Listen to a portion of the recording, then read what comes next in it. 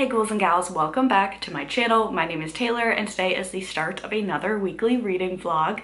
Very excited to kick this vlog off because today is Tuesday and I have a snow day. Granted, the snow has not hit quite yet, but it was icy raining all last night into this morning. It's very cold outside. I believe we're starting to get more snow at around 3 p.m. So I'm fingers crossed um, that I might have a snow day tomorrow as well. No matter how how old I get, I always feel the exact same about snow days and inclement weather days as I did as a kid. I'm so excited to just cozy up with my dog and my partner and I'm gonna read a lot today. We'll see if I can get anything finished before the end of the month. It is January 31st today, so we'll, we'll kind of see. Um, I definitely plan on reading a lot. I am in the middle of a couple of books, so I might be able to finish one today as well as I plan on starting one of my most anticipated reads of this year. So let's just go ahead and talk about those. The first book that I'm currently reading is Wizard and Glass by Stephen King. This is book four in the Dark Tower series and I'm really,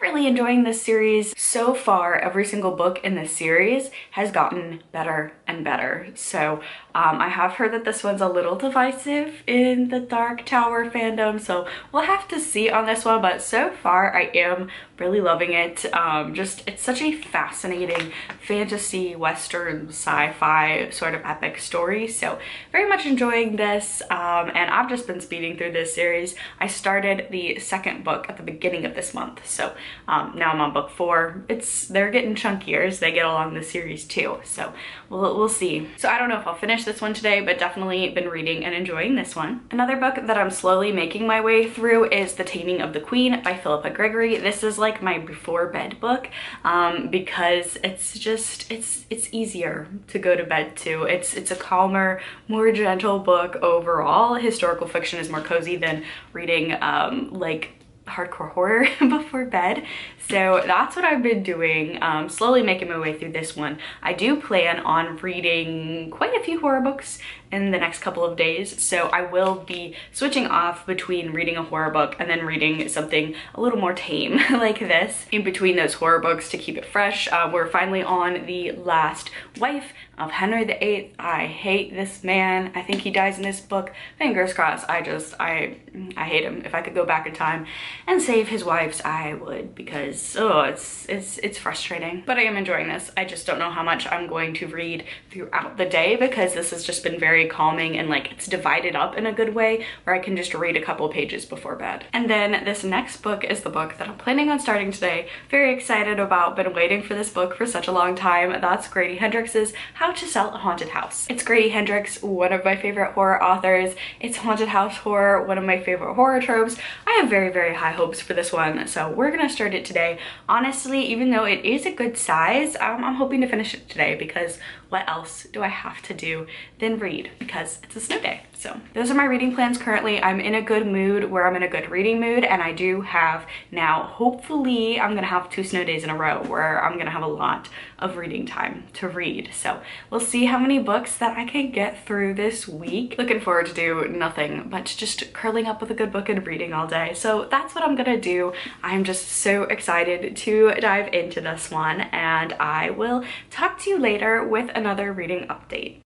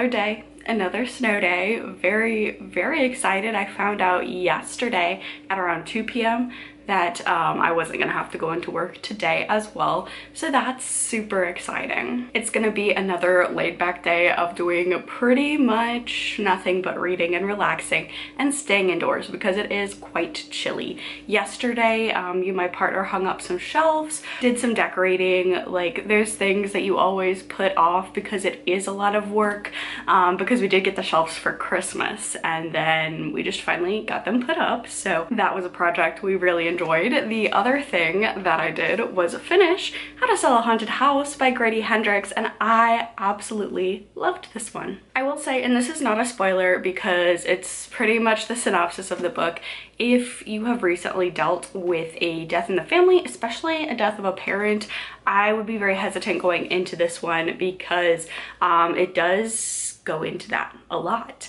Um, and if you've ever read Grady Hendrix book, you know that he does a really good job of balancing like true elements of terror and horror. There are some horrific, scary scenes in here, and then also some very heartfelt ones that pull on your heartstrings. So um, just be warned, I would say that's the biggest trigger for this one because we're following our main character Louise and she finds out unfortunately that both of her parents have died unexpectedly in a car crash and she has to go home and settle the estate, figure out what to do with her parents' house and all of that. And um, her and her pretty much estranged from her brother have to kind of work together and clean up this house. Spooky things start happening and I will say her mother's main job, her passion, her hobby was creating puppets and collecting dolls. So there's a lot of that type of horror going on in here. Very poltergeisty, very Chucky.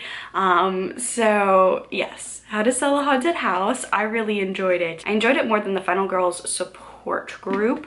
Um, I definitely say this is probably higher up there. I haven't done a definitive ranking or anything like that, but I just loved it. And once I started it, I pretty much did not put it down. And it's like 400 pages. So I absolutely devoured this, really, really loved it. It not only had scenes where I was um, reacting in disgust out loud um, about the gross things that were happening and then also scenes that were just so heartwarming as well. So definitely would highly recommend this. Had a lot of fun reading it um, and it was a great way to kick off my snow day. The next book that I ended up picking up and um, I didn't finish it, but I will finish it today because I only have five hours left of the audiobook. And that would be Olivia Blake's Alone With You in the Ether. This one's actually kind of a hard one to describe. Again, I picked it up because I knew it was more of a contemporary, I don't want to say romance,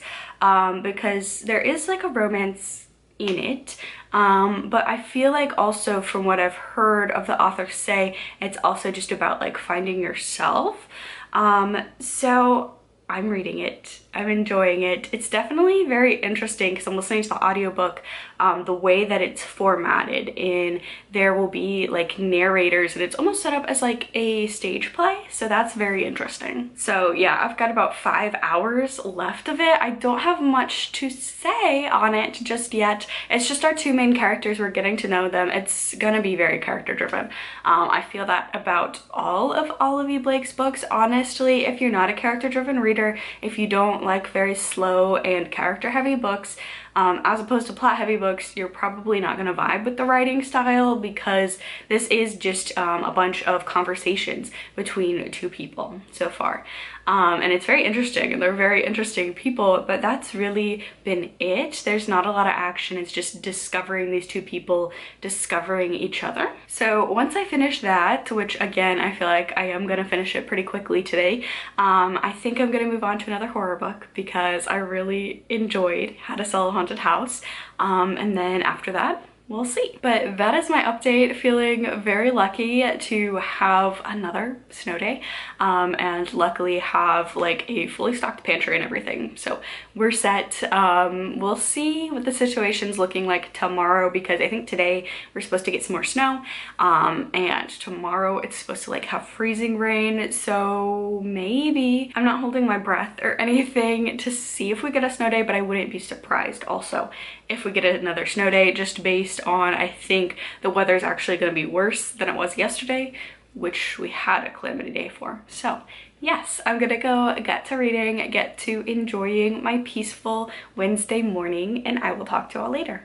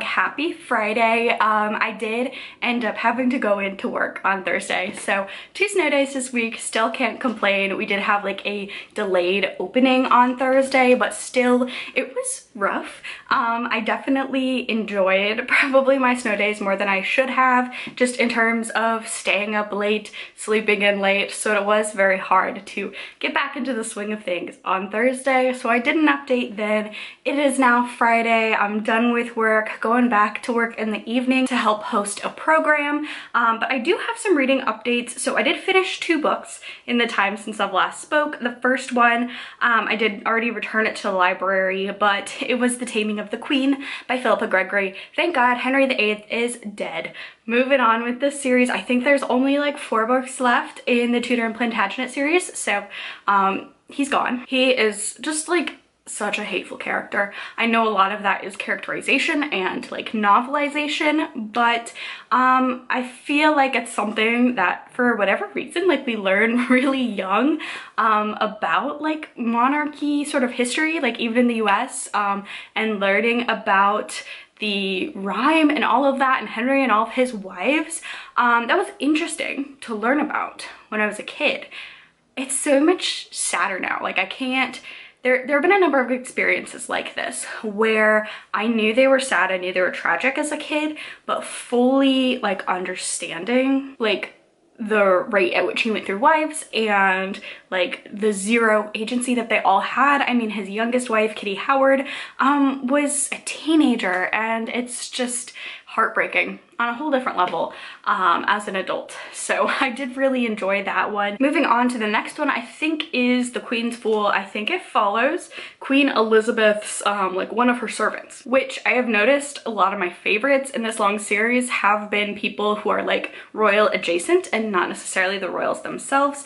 Um, I'm thinking uh, Margaret Pole and then Jacquetta. Those were like very interesting protagonists to me. I feel like the same for this one. And then the second second book that I finished was Alone With You in the Ether by Olivia Blake. Definitely my least favorite Olivia Blake. Um, I still write hard for her. She's one of my favorite authors, but this is like a literary romance. Um, and I'm not into those genres. I wouldn't have picked it up had it not been from that author. So definitely keeping that in mind. There were a number of passages that I thought were very beautiful and really enjoyed, but just the story is not my kind of story. Didn't really keep my interest as much as her speculative fiction does. So I did enjoy it. Um, I think if you're not a fantasy person and want to kind of sample Olivia Blake's writing, I think this would be a good one. If you like, um, I hesitate to call it a romance because I know romance as a genre has a lot of stipulations on what it has to have to be considered a true romance book, but I would say like a literary romantic story. Um, but I did enjoy it still, just wasn't um, my cup of tea. Moving on to, I guess, weekend reading plans. The book that I plan to pick up, um, other than Wizard of Glass by Stephen King. That one I'm still making my way through. Um, but I am going to pick up The Nightmare Man by J.H. Markert. And um, this came out in January and I don't know much about it except it says T. Kingfisher meets Cassandra Khaw in a chilling horror novel that illustrates the fine line between humanity and monstrosity. Um, and I think it's about a writer who's writing a horror novel and the horror novel may or may not be bleeding into his real life. So yeah, a premise that I love in movies, love in books. Um, well, I don't, I can't actually think of any off the top of my head, um, but movies, like I love Sinister. This gives me, the plot gives me Sinister vibes, but I haven't started it yet. So I'm definitely going to do that. I do have a couple of hours before I have to go back to work. So I'm probably going to hop on the treadmill, walk a little bit, read a little bit of this, maybe Wizard and Glass. I haven't decided which one. And then I just have like that three hours of the program and then it'll be the weekend. So those are my reading plans. I'm gonna go get to reading and I will talk to y'all later.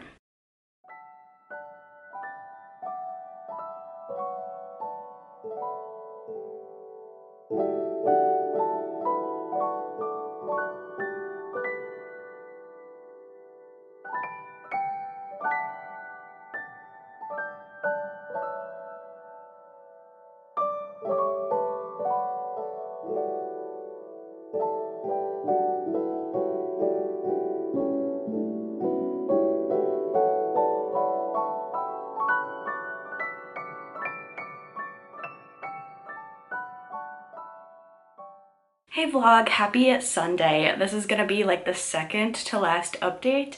In this vlog, I'm gonna see how much I can read today and then update at the end of the day. But I did manage to finish a book. Um, I started this yesterday, finished it yesterday, and rather unfortunately, I do not recommend. Um, so this is The Nightmare Man by J.H. Markert, and um, the plot was very interesting to me. It seemed like a lot of movies I really enjoy, um, just a premise that I find is really fascinating. So we're following two main points of view. One of them is a writer and he's writing these horror novels and his latest one gets published and murders start happening in his small town that mirror the murders in his book. And then we're also following a police detective as he's trying to figure out what's going on. Is this author involved? Is it something more supernatural or is it just um, a horrible person doing these things? Um, so interesting premise. The writing style for me is not one that I enjoy and um, I think a lot of issues that I had with it, I saw that this author, I don't know if this is a pen name for the person or not, but the person who wrote this um, actually writes, I believe, screenplays, a producer and a screenwriter. So um, a lot of the issues that I took fault with, I could see how that would be very important a screenplay. I think overall this would be really good as a movie just because some of the things were very much told to you and not shown. Um, there were a couple of things where there were very obvious foreshadowings and it felt strange in here to read a detail that didn't seem important and then since it's so out of place you kind of go well that's gonna turn up later um, whereas if you're writing it down um, in terms of a movie if you note that you want to have like a camera pan to that specific specific feature or specific detail, it doesn't feel as out of place. So just the writing, not, not my favorite. Um, also,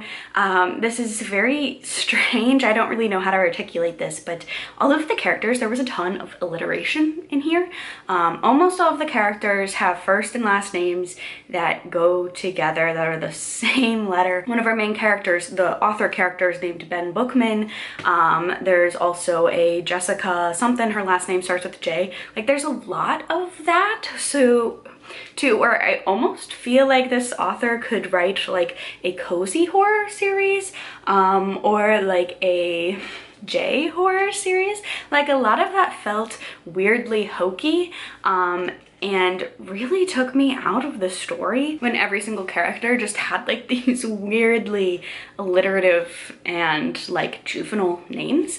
Um, so that was like very strange and a couple other things like that made me feel um, just like the writing style was not a great fit for me. Um, I did notice this has like a very high rating for a horror book.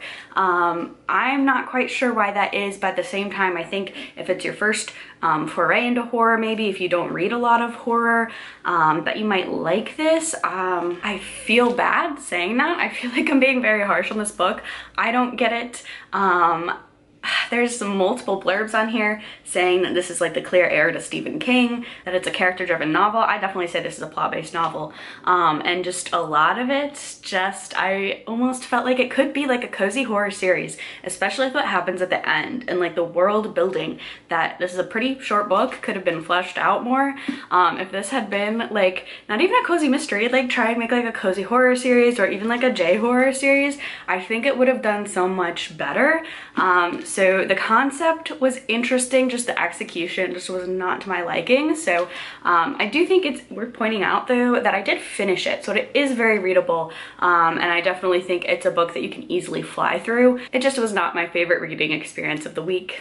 Now I was still in a horror mood. When I finished that, it didn't necessarily scratch that horror itch that I wanted. So I did pick up It Came From The Closet, Queer Reflections on Horror and this is a collection of essays. It's edited by Joe And this is 25 contemporary queer and trans writers reflect on the horror films that shaped them and shook them from Hitchcock to Halloween to Hereditary. Um, and I'm really loving this. I'm really, really loving this. Pretty much that description um, is very apt. I feel like I can't give a better one than that. It's just every single one of these essays is kind of about the author's complex sometimes or just very interesting. Like I feel like a ton of queer people, at least that I know, or it's like very common to love horror. Like it's definitely a very interesting relationship. Um, let's see, my favorites so far my favorite essays so far have been Both Ways by Carmen Maria Machado. That was on Jennifer's Body.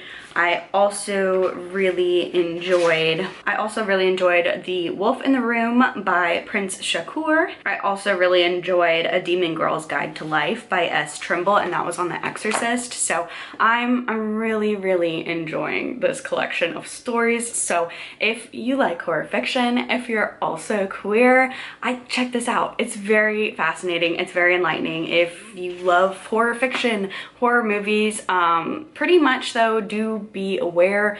Um, the essays, if it mentions a specific movie in the essay, it's going to be spoiled pretty much for you. So um, know that going into there. You might have to skip some of these essays if they spoil movies that you still want to see, but I'm really, really enjoying this. I don't think I'll finish it anytime soon. Um, maybe it's very readable, but it is a collection of stories. So you can read one, get back to it later. But I'm about halfway through. I'm really enjoying this. And then last but not least, I'm also, I think pretty much exactly halfway through Wizard and Glass. I'm really loving this. I will say a large part of this is a flashback, which I think is what people don't tend to like about this one. Um, I'm not hating it so far. I am nervous it's going to be most of this book is going to be this flashback story that Roland is telling, which in that case, it probably won't be my favorite of the series, but so far it is interesting. I'm really enjoying it. I'm going back and forth between the audiobook and reading it physically and just having a good old time with it. Haven't really decided what the rest of my reading plans are going to be for today. I am still in like a big horror mood, so I might pick up, um, even though I'm really enjoying It Came From The Closet, I want something fictional because that is nonfiction, so I might pick up another book or focus on finishing the book that I'm already halfway through. So who knows, I'm gonna go get to reading and I will check back in and wrap up the vlog a little bit later.